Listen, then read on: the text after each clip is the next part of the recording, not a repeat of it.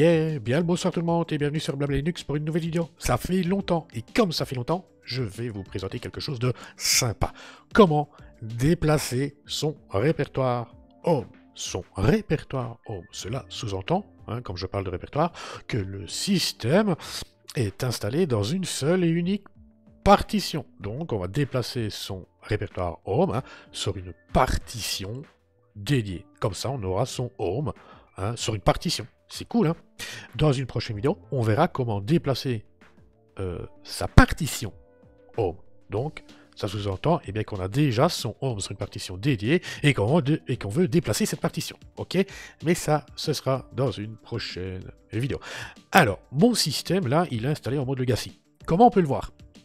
Euh, C'est simple. Soit euh, je lance l'utilitaire disque.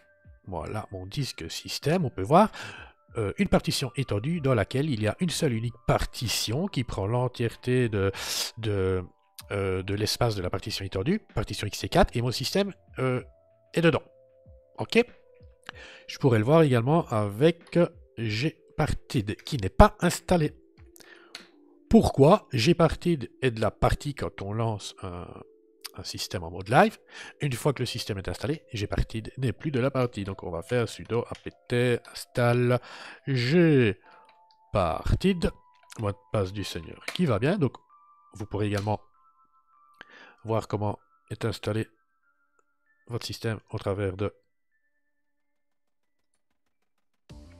gpartid. Voilà.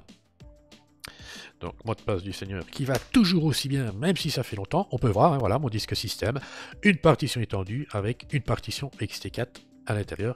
Et dans cette partition se trouve l'entièreté de mon système. Donc, si je lance le gestionnaire de fichiers Nautilus, hein, autre emplacement, ordinateur, on peut voir mon répertoire Home. Oh yeah Autre façon de le voir. Instance terminale, nous allons faire CD 6 firmware, je liste, je n'ai pas de répertoire EFI. Donc, c'est que mon système est installé en mode legacy. OK Autre façon de le voir, sudo, et on appelle la commande EFI boot mgr. Commande introuvable. Eh bien, sudo apt install EFI boot mgr.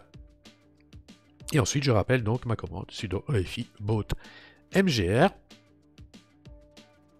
voilà. Et qu'est-ce qui est dit? Eh bien, impossible de lister donc les différentes euh, euh, variables entrées EFI. Maintenant, il n'y en a pas. Sinon, il y aurait euh, des entrées, des variables EFI qui seraient listées. Ok? Regardez sur mon système.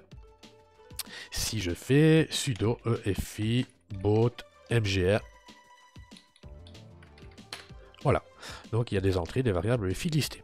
Ok Bon, c'est pas le tout. Ah oui, pourquoi je viens, euh, j'en viens à parler de ça? Est-ce que mon système est en mode euh, installé en mode legacy ou en mode EFI Donc on va déplacer son répertoire home hein, sur une partition dédiée.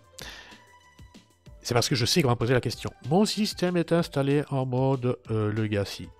Hein, donc table de partition DOS, MBR j'ai un gros disque, un disque de plus de 2 Tera, allez 4 Tera.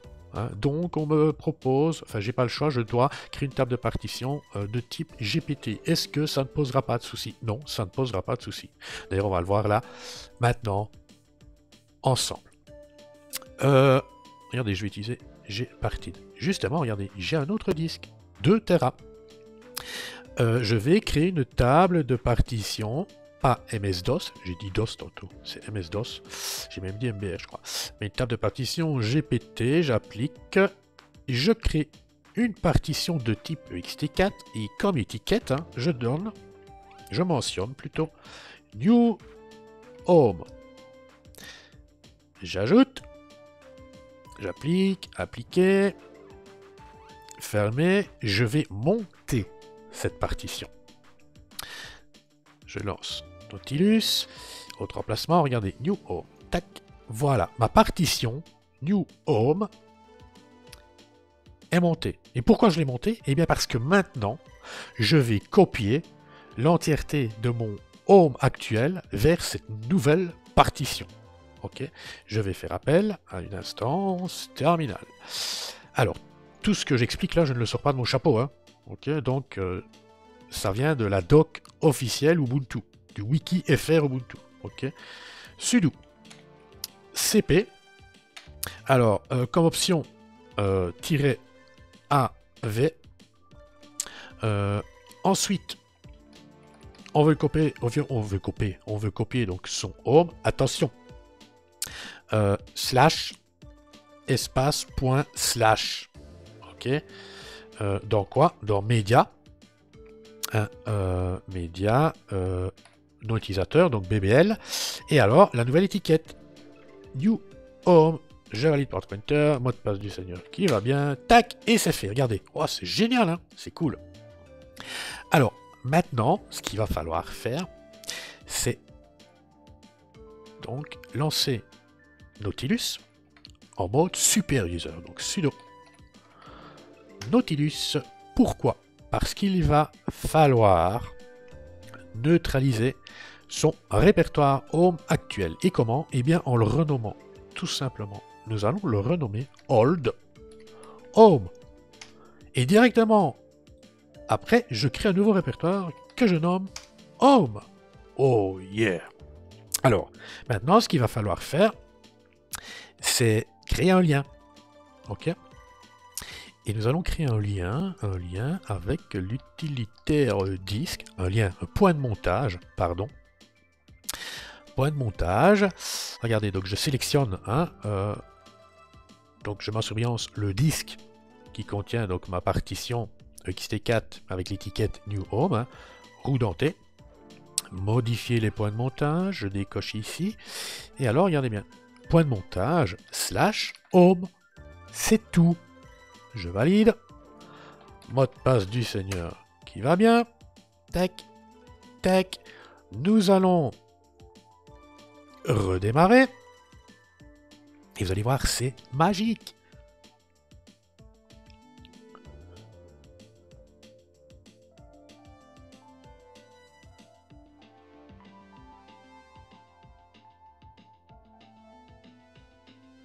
je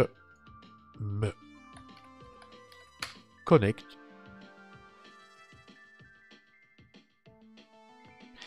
Et voilà, il n'y a plus rien à faire. Si, je mens, je mens. Vous pouvez supprimer votre old home. Vous n'en avez plus besoin. Donc nous allons nous allons ouvrir dans un terminal et nous allons nous allons faire donc si je liste hein, voilà donc old home euh, sudo euh, rm-r, hold home, tac, mot de passe du Seigneur qui va bien. Et, euh, et, et, trop vite. Voilà.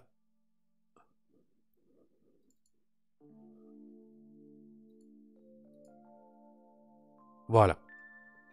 Maintenant, parce que je sais qu'on va me le demander, on va me dire oui, mais c'est ennuyant, on a créé, on a donné euh, une étiquette à notre euh, partition dédiée pour notre home. On, a donné l'étiquette New Home. Euh, moi, je, ne veux plus cette étiquette-là. Eh bien, alors, qu'est-ce qu'il va falloir faire? Il va falloir tout simplement démarrer donc sur un système live.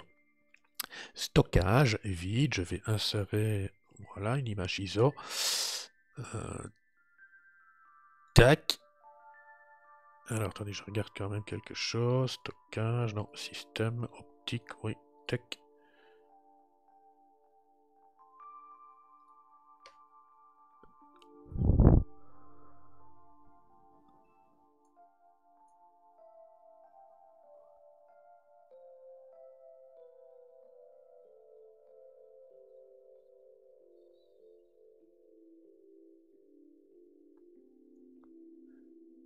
Voilà, donc euh, System Live. Donc, qui dit System Live Donc, j'ai parti et de la partie. Je sélectionne donc mon disque de 2 Tera.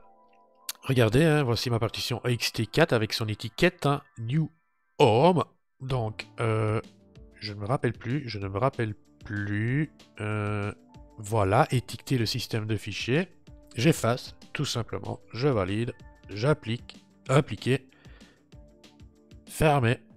Tac. J'éteins. J'éteins. On va redémarrer donc sur le système en dur, si on peut dire. En dur virtuel. Voilà, en dur virtuel. Et vous allez voir que, eh bien, tout est OK. Donc on a déplacé son répertoire home vers une partition dédiée, donc au home. OK? Voilà, et c'est totalement transparent.